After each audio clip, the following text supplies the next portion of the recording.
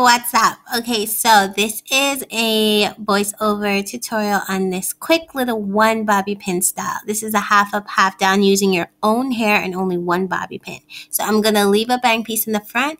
This is when your hair starts to really kink out, but you still have a lot of definition in there. Notice it's not just a plain kind of flat straight-ish looking afro puff. There's some wave and some curl to my hair. So you want to have some sort of texture because that little bit of curl definition is what's going to really play off in this style. So you just grab the first top half of your hair, leaving that bang piece out, and then you take a separate little piece and you wrap it around as if you're doing a hair type ponytail. You're using your hair itself to secure the little top pony that we just put in the hair. And then you're going to take a little bobby pin. Well, a large bobby pin is better because then you get more security.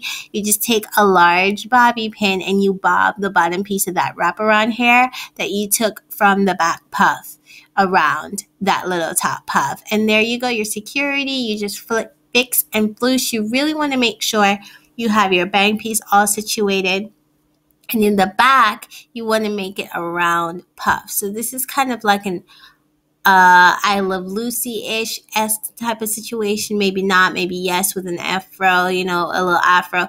You can do it however you want to do it. But me, I want a really round back to my bottom half. I don't want it to be too square. And that is the finished product. Hope you enjoyed. Thank you for watching later.